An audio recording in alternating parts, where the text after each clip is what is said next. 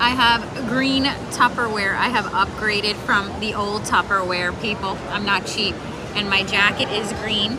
It was from Urban Outfitters. I got it for like $10. It was regularly 60 but I'm not cheap, okay? I got new Tupperware,